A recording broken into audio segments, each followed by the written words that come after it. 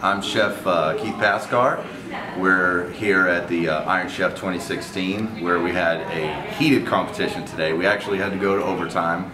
The uh, silver medal went to our uh, team lead, led by uh, Brandon McLean. He's actually a Killeen Independent School District student, so uh, I'm very proud of him.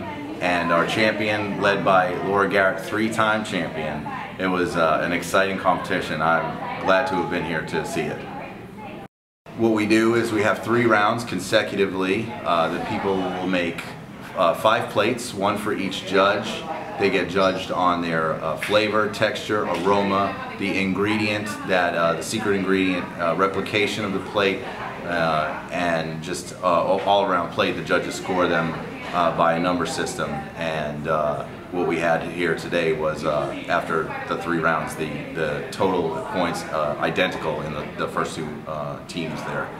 Um, what we always do, uh, just like the, the normal TV show, is we come up with an ingredient that is incorporated in every single dish that we use. Um, so we had some interesting things today, and it was, it was pretty tasty.